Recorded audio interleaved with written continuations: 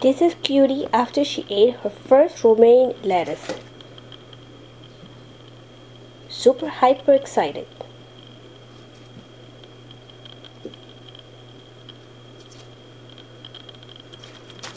What is that, Cutie?